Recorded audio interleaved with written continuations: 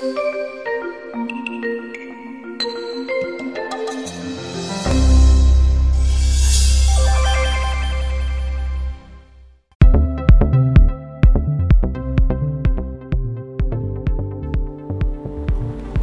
there. Congratulations on buying your Airwolf 3D Axiom 20. We're going to go over some operations right now. We come around to the back first. We begin by plugging in the power cord to the back of the printer here.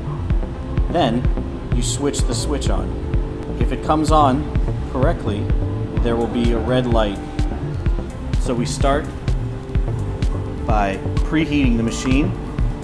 We're going to go into the screen here, select prepare, and then preheat ABS, ABS all.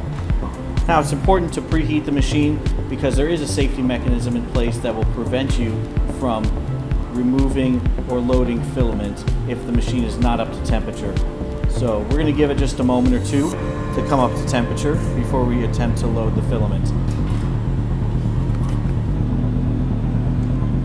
Now, we're going to attach the filament guide tubes to the spool holder.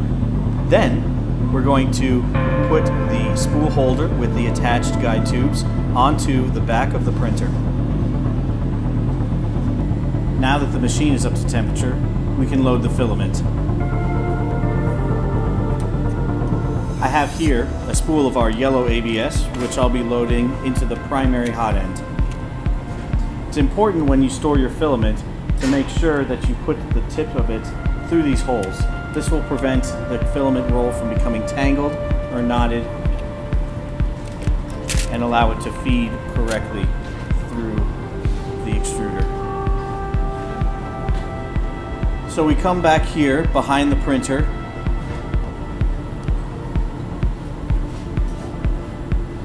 So right now, I'm pushing the filament through the guide tube until it comes out the end here. So I have the filament at the end of the guide tube here. I'm going to take off the top cover, set it aside, and then I'm going to do prepare, extruder 1, load filament. It will take just a few seconds for it to start moving the gear. Apply moderate pressure, pushing it down into the extruder assembly until you feel it pulling. It's now pulling the filament into the hot end.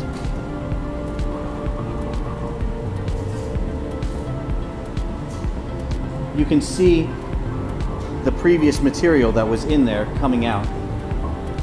The filament I've loaded is yellow, but we're going to purge out this extra white material that we have in there from our previous print. To do this, we're going to go to Prepare, Extruder 1, and select Prime Filament. This command will advance the filament 5 millimeters or so, just a little bit. That's 5 millimeters of filament length, not necessarily the extruded filament length. You see it's much more than 5. But we'll do it one more time, just because it's still a little bit white and we want it to be completely yellow. Looks good now. We're to go ahead and take that away. And now we're also to load the secondary hot end. I'll be loading my secondary hot end with this black filament. I do it the same way by going right through the guide tube again, feeding it down through there until it comes out at the other end, which is what I have here. Now, I insert it into where the filament is fed. Select extruder 2 and click on load filament. This will draw the filament into the extruder.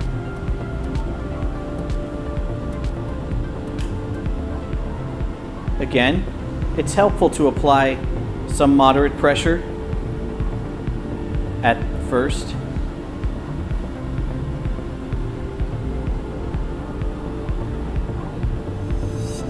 Once it catches though, you shouldn't have to apply any additional pressure. It should just be drawn in. We should start to see it coming out of the end of the hot end here, as we do.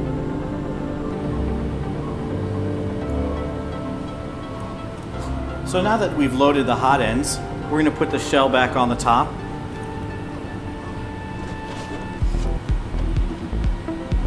There's a cutout in the back where the guide tubes pass through. Make sure you get those through there. And that just sits on the top there. Now we're going to prepare the glass plate for printing. This is the printing plate for the Axiom 20. And what we're going to do here is coat it with a solution we call Wolfbite. Wolfbite is a heat activated solution that has a stick temperature and a release temperature it's important that these stick and release temperatures be maintained. If they're changed from contamination or spoilage, you can have instances where the print will fail to stick to the glass plate, or if it sticks too well and sticks on there too long, as the print cools and contracts, it can stress the glass, damaging it. So it's very important that you be mindful of contamination procedures when you're using this Wolfbite. It's usually a good idea to write on the handle which Wolfbite formula you're using for this brush. That will prevent cross-contamination by other Wolfbites that you may have lying around your workspace. Once the plate has been coated, we're going to slide it in here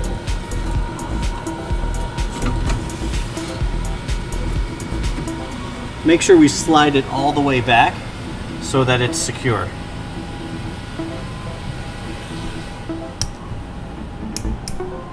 Now we're ready to begin printing. I'm going to insert a card into the SD right here and print G-code files from it. We have other connectivity options. On the back is a USB connection in case you'd like to connect directly to your computer via USB.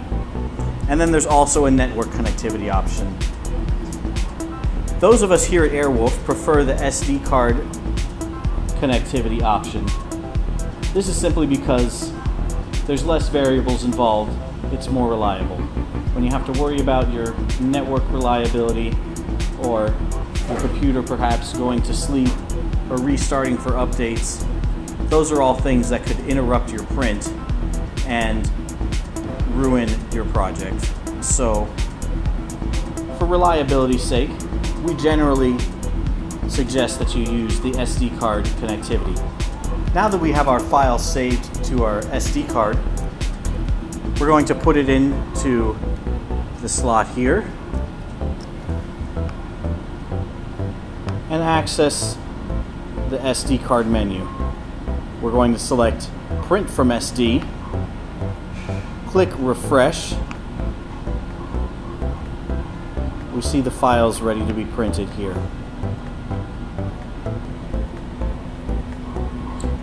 So the machine is just about finished preheating. Should come up to temperature any second now. Here we go. The printer will begin by homing each axis, going to the zero point. And now the printer is heating up the other hot end to make sure that the auto leveling process executes correctly. It's important that you use Apex, our slicing software, because the G-code that it creates will have the brush wiping and auto leveling that you need to have in there. Third-party slicer softwares will not create this G-code for you. Now that the hot end is up to temperature, the printer will now go through its auto leveling sequence.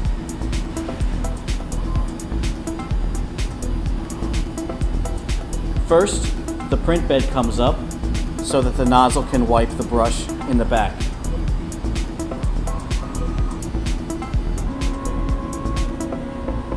You see now the nozzles traveling to the back of the printer to be brushed and they're being cleaned now.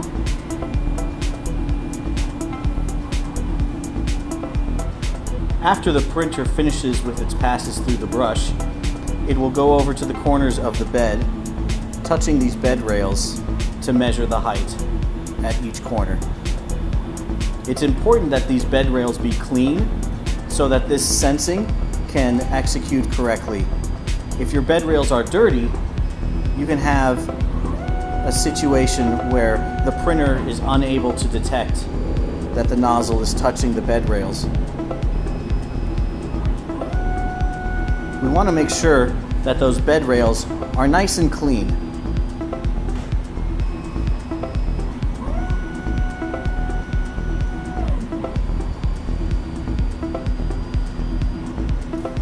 So the auto leveling has successfully executed and now the printer will begin printing.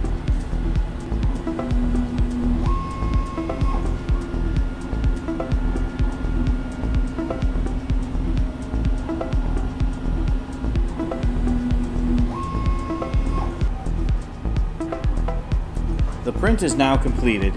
We need to wait and make sure that the glass cools down in order to release the prints from the print bed.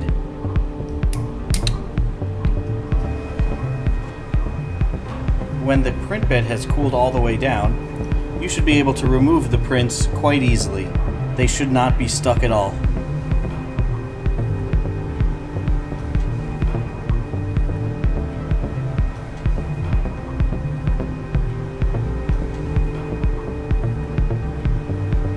If your prints are still stuck to the print bed, you'll need to remove the glass plate from the printer and run it under cool water. This will release the prints from the bed. Do not apply the cold water to the hot plate before it has cooled. The Axiom 20 comes standard equipped with a 0.8 millimeter nozzle. The reason why we have such a large nozzle aperture on this machine is because we're building some rather large parts with this, and it's important that we be able to extrude enough filament quick enough to make sure that we can build large things in a decent amount of time. This printer can reach 150 degrees Celsius for its bed temperature. It's important that we be able to reach such high temperatures because that helps the print stick to the print bed. Thank you for watching. Stay tuned for more videos from Airwolf 3D.